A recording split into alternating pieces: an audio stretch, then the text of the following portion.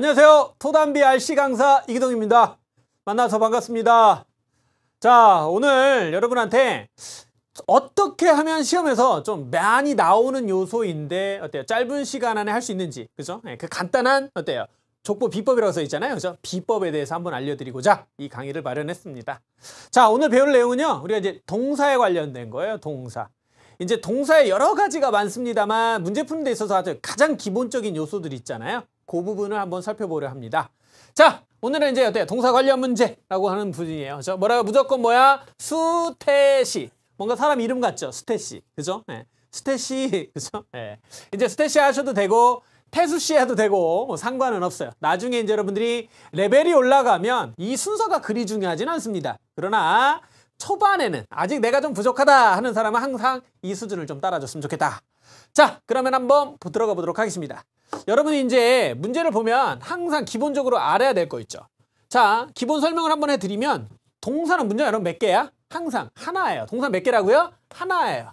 절대 두 개일 수가 없어요. 항상 하나만 들어가야 된다. 그죠? 네. 대신 여러분 문장을 보면 동사가 막 두 개, 세 개, 네 개 되죠?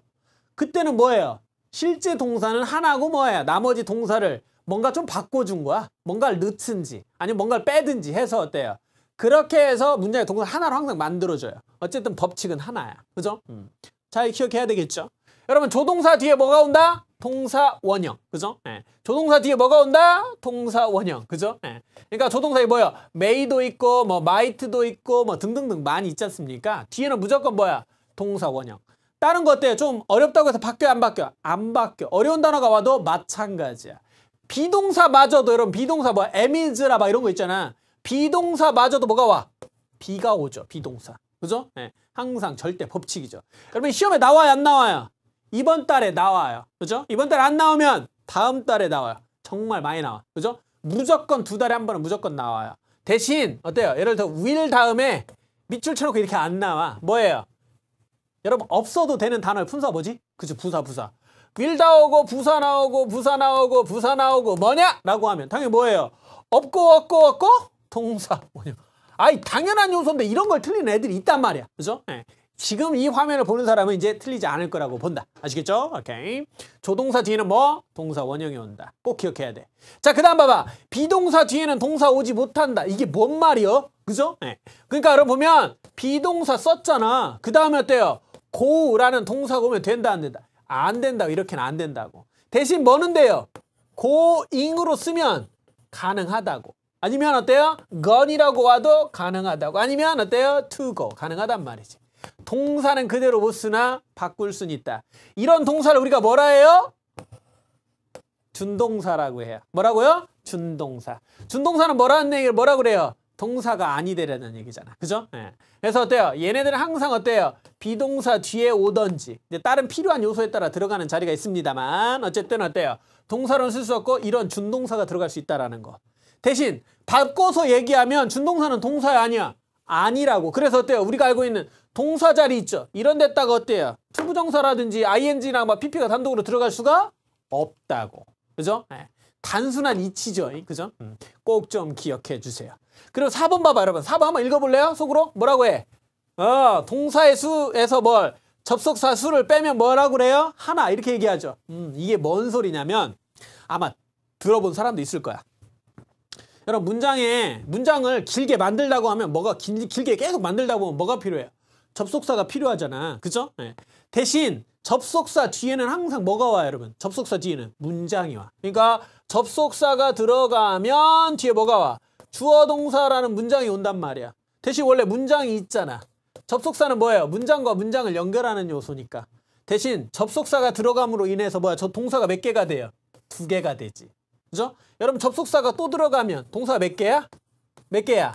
세 개죠. 그지? 음. 근데 실제 문장에서 보면 이게 진짜죠? 나머지 얘네들은 뭐예요? 다 없어도 되는 요소. 원래 없던 거 붙은 거잖아. 그죠? 네. 조금 이해가 돼요? 음. 항상 동사의 수는 하나여야 돼요. 근데 접속사를 쓰면 동사가 두 개고 접속사를 또 하나 쓰면 접속사가 세 개가 되는 거야. 이해됐습니까? 무슨 말? 아니 접속사 세 개래. 동사가 세 개가 되는 거야. 그래서 항상 법칙처럼 동사의 수에서 뭐를 접속사의 수를 빼면 1이라는 숫자가 돼요. 아시겠죠? 네, 꼭좀 기억해야 돼. 어렵지 않죠? 그러니까 여러분들이 지금은 이거 왜 얘기하는 사람 있을 수 있다. 그러나 중요한 건 뭐야? 문제를 풀 때는 동사의 수나 접속사의 수만 세도 뭐예요? 동사가 인 동사 자리인지 아닌지를 판단할 수 있다라는 거지. 아실까요? 오케이 좋습니다. 자 그러면 우리가 이제 이번 기본적인 패턴을 좀 배웠으니까 아까 금방 했던 거 뭐야? 스탯이 한번 불러보죠. 스탯이 그죠? 음. 자 동사 푸는 순서예요. 자 중요한 건 이제 문제 문제 문제를 문제를 풀 때 아 이거 이거 이거 이렇게 나왔어. 그러면 여러분 보세요. 얘는 동사야 아니야? 아니야. 그죠? 왜 ing 붙었잖아. 얘는 어때요? to 붙었지. 동사 아니야? 아니야. 얘는 어때요? 동사 아니야. 뭐야 얘는 동사죠. 이렇게 중요한 건 이거 말고도 이제 여러 가지 어때요? 뭐 have pp라든지 뭐 등등등 많잖아.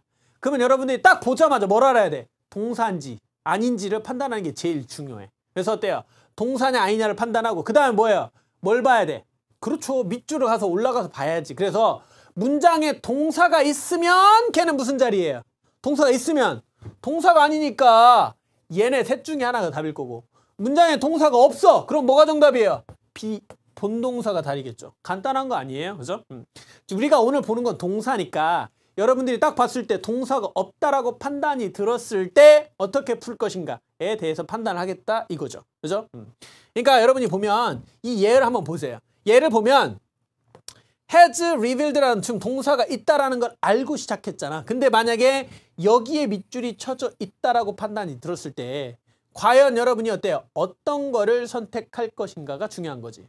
이해됐을까요? 무슨 말인지. 그지? 음. 그럼 어때요? 여러분들이 어때요? 문장에 주어가 있고 동사가 있고 그걸 판단하는 거잖아. 그럼 어때요? 어, 뭐 길을 줘. 이제 나중에 공부하면 나 공부하면 이러세요, 여러분이. 전치사부터 뭐야? 명사까지 쭉 해서 어때요? 전면구 쫙 수식어로 빼거든요. 그럼 어때요? 주어가 있고 그 다음에 뭐야? 어 동사가 있네? 그죠? 근데 여러분 대리 아, 야 됐나 됐 됐 접속사 있으면 뭐야? 동사 하나 더 있어야 된다고 그랬죠. 그럼 뭐예요? 동사가 뒤에 있어야 되는 거야. 그쵸? 음. 그러면 여러분 봐봐. more than three quarters of them. of them 전면구 빼버리고 뭐야? 아 3분의 2 이상이죠. 아 4분의 3이네요. 쿼터니까. 그죠? 4분의 3 이상이 뭐예요? 해놓고 뭐야? 동사가 있어 없어? 없잖아. 그럼 뭐가 정답이에요? 얘가 정답이. 얘는 정답이 아니야? 왜? to잖아. 이해돼요? 네. 이렇게 간단히 풀어주는 거란 말이죠. 그러니까 우리가 문제를 풀 때 동사 관련된 거를 풀때 기본적으로 생각해야 되는 건 어때요?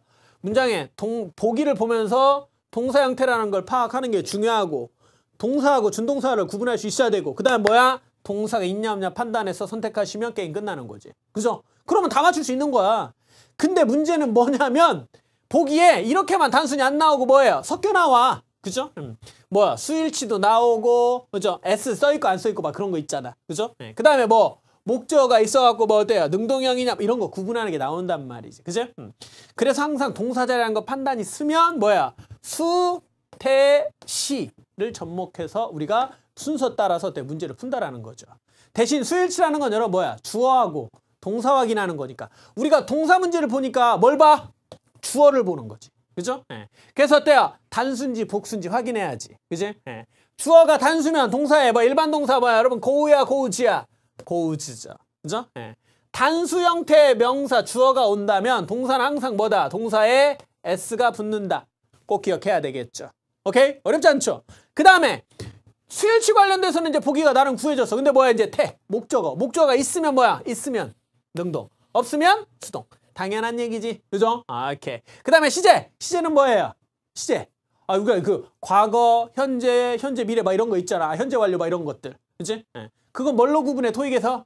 그지? 예, 뭐, 부사적인 표현. 부사적인 표현. 라스 나오면 과거래잖아. 넥스 나오니까 미래고. 그죠? 예. 여러분 어때요? presently 하면 뭐야? 현재. 이런 거잖아. 그지? 음. 그러니까 어때? 시제한적인 표현만 찾아내면 시제도 풀 수 있다라는 거죠. 이해됐을까요? 어. 그러니까 여러분 다시 한번 정리하면 우리가 동사 문제를 풀 때, 그죠? 예, 꼭 기억해야 될 거 뭐야? 동사는 하나다라는 거, 그죠? 예, 동사와 준동사가 존재한다라는 걸 꼭 기억하고 있어야 되겠고, 그죠? 예, 보기에 본동사하고 준동사하고 섞여 있을 때 꼭 기억해야 될 건 실제 문장에서 때 동사가 몇 개인지를 판단해야 된다. 동사는 뭐? 하나야 된다라는 거 기억하시고 접속사가 나오면 뭐예요? 동사의 수에서 접속사의 수를 빼면 뭐가 돼야 된다? 일이 돼야 된다라는 포인트. 그걸 확인한 다음에 동사가 없다라고 판단이 들고 동사 문제라면 수, 태, 시. 수 주어 보고 태 목적어 보고 시제 부사적인 표현 본다. 게임 끝. 그죠? 음. 좋아. 그러면 우리가 실전 문제를 풀면서 과연 우리가 그렇게 풀 수 있는가? 그걸 확인해 보자. 여러분 이게 지금 푸는 문제는 가장 최근 문제야. 가장 시험에 우리가 이제 최근에 토익에서 나왔던 부분을 내가 이제 보는 거야. 그죠? 음. 그러니까 여러분들 아 최근에도 이렇게 나오는구나 라는 걸 확인 확신하고 푸는 거지. 자 보자. 어 동사 이렇게 네 개 나왔다. 그죠? 어. 그러면 동사 아니야? 아니네. 동사 아니야? 아니네. 동사 아니야? 얘만 동사네요. 그죠? 네. 그럼 올라가서 봐봐. 여러분 봐보세요. 자, 미스터 찬 주어져. 그죠? 리서치. 그죠? 네. 뭐야 리서치가? 고민되죠. 그죠? 얘는 뭐야? 동사도 되고 명사도 되거든. 근데 중요한 건 뒤에 뭐가 있어? indicate. 그죠? 네. 그럼 어때요? 주어가 이렇게 주어인 거야. 그 다음에 뭐야? 동사 있는 거고. 목적어 있어야 되는데 뭐야? 이런 뭐야? 접속사 나왔네. 접속사 나오면 여러분 뒤에 뭐 나와야 돼? 동사 나와야 되지? 동사 있나 봐야지. 동사 있어. 이야, 옆에 동사 나왔네. 그죠? 네, 동사 나왔어요. 동사. 그죠? 음, 이해됐어? 어. 그러면 답이 아닌 건 누구야? 여러분 답이 아닌 건. 동사는 답이 아니지. 근데 어차피 얘도 원형이니까, 그죠? 네, 형태는 들어갈 수는 어차피 없었을 거라고 생각이 들고요. 그죠? 음. 그 다음에 이제 여러분이 어때요? 풀어야 되는데 이제 형태적으로 다른 거 다 떠나서 무조건 이제 이거 구분이 돼야 안 돼. 그죠? 이제 동사 관련 쉬운 문제는 됐지만 여기서 구분해야 되는 건 어피어란 동사 알아야지 푼다. 그죠? 네. 이건 이제 조금 더 공부를 해야지. 그죠? 네. appear는 따라해 보세요. 어피어 투비. 어피어 투비. 투비는 생략되기도 하지만 어피어 투비. 그죠? 네. 어피어 투비. 여러분 sim은 sim은 익숙하지. 따라해 보세요. seem to be. 그죠? seem to be는 익숙하지? 그죠? to be 똑같은 거야. 뒤에 뭐야? 형용사나 대, 형용사나 뭐가 온다? 명사가 온다라는 거지. 이거를 이제 한 번이라도 봤으면 정답은 그냥 원래 뭐야? be야. 근데 아니면 이제 막 고민했겠지. 이거 도대체 뭘 써? 그죠? 음. 그러나 어때요? 기본적으로 동사는 들어있었기 때문에 우선 얘는 좀 버려주고 그죠? 네. 얘네들을 단독적으로 쓰는 게 아마 쉽지 않았을 거라는 걸 좀 판단했으면 더 좋았겠어요. 그죠? 음, 좋습니다. 그 다음 그 다음 문제 하나 더 해볼까? 2번 문제 봐봐. 2번 문제. 2번 문제 보면 어때요? 동사 4개 나왔죠? 자, 그런데 동사 아닌 거 있나 봐봐. 동사죠?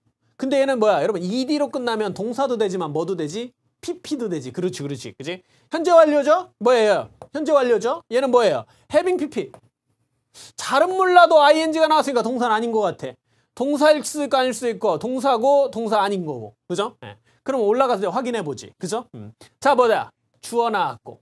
그 다음에 뭐야? 아, 동사 여기 있네. 그죠? 네. 그 다음 뭐야? 목적어. 그런데 이게 웬걸? 접속사에 있네. 접속사 뒤에는 여러분 뭐가 온다? 그렇지 문장 그죠? 음. 자 그래서 어때요? 문장 주어 왔고 동사 있어 없어? 없죠. 그래서 뭐가 정답? 동사가 정답. 그래서 어때요? 정답은 뭐야? D번은 답이 아니야. A, B, C 중에 생각하는 거죠. 그지? 음. 대신 여러분 봐봐. 여러분 요거 뒤에까지 본 사람이 아마 있을 수 있어. 그죠? 그런데 우리가 앞쪽에서 지금 확인하는 거잖아. 그러면 that 뒤에 동사만 있으면 굳이 쳐다보지 않아도 된다. 이해돼? 무슨 말인지? 어. 차피 여기서 끝나는 거기 때문에 우리는 뒤에 that 뒤에 동사만 있으면 확인하지 않아도 된다. 그냥 얘는 뭐야? 없다고 생각해. 이하를 보장하는 거야. 그죠? 음, 좋습니다. 그렇게 되면 여러분 어때요? that 뒤에 주어 동사 있어야 되는 거니까 overtime hours 그죠? 연장 시간이죠. 그죠? 네. 그러니까 연장 근무 생각하면 되는 거야. 그죠? 네. 연장 근무 시간이 어때요? 뭐뭐를 보장하기 위해서. 중요한 건 주어는 있고 뒤에 뭐 동사 자리라는 거 판단이 들어서 뭐 어떻게 푼다 그랬지? 그렇죠. 스테시 불러. 스테시. 자 그럼 어때요? 아우어다 S 붙었죠. 단수야 복수야. 복수. 그럼 어때요? 에이, 다 복수네. 그죠? 그다음 뭐 봐? 태, 태, 태. 목적어 있어 없어? 끝났죠. 그잖아. 명사 없잖아. 그죠? 네. 명사가 없다. 그럼 뭐예요? 무조건 뭐? 수동태가 정답. 그죠? 그럼 어때요? 얘 당 정답 아니고. 그죠? 네. 얘 정답 아니 정답, 정답은 C네. 시제 내가 봤어 안 봤어? 안 봤죠. 다음에 또 다른 문제 풀면 시제 문제까지 또 나오는 게 있어. 그죠? 네. 어때요? 여러분이 문제 풀어보니까 어때요? 생각만큼 어려운가요? 그죠? 네. 앞에 문제는 조금 어려운 요소, 가 있을 수는 있었을 거라고 생각이 들어. 어피어란 동사 몰랐으면. 그거 이제 또 나오고 공부하면 되는 거고. 그죠? 음. 대신 어때? 이번 문제는 아주 전형적인 수태시 문제죠. 그죠? 네.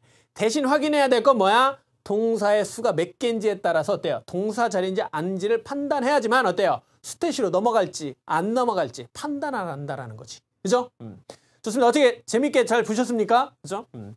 여러분들이 동사 관련된 거 동사를 많이 알아야 풀 수 있는 문제들도 있긴 있어요. 대신 일반적으로 토익에서 나오는 문제는 이 안에서 이 102번 문제에서 해결이 거의 다 된다고 보시면 된다. 그러니까 여러분들이 어때요? 기본적으로 내가 아까 설명했던 부분을 포인트 포인트 딱 정리하시고 그 다음에 스탯이 어떻게 푸는지 확인만 해주시면 어때? 여러분들이 원하는 기본적인 형태는 다 잡아낼 수 있다. 그죠? 음. 모르는 부분 있으면 어때요? 또 저와 함께 쭉 또 공부하시면 될 테니까요. 좋습니다. 오늘 한번 이렇게 저희 어때요? 그 무료 어때요? 족보 강의 잘 들어보셨을 거라고 생각이 들고 다음에 기회가 되면 또 어때요? 여러분과 함께 공부를 했으면 좋겠습니다. 자, 듣느라고 너무 고생 많았어요.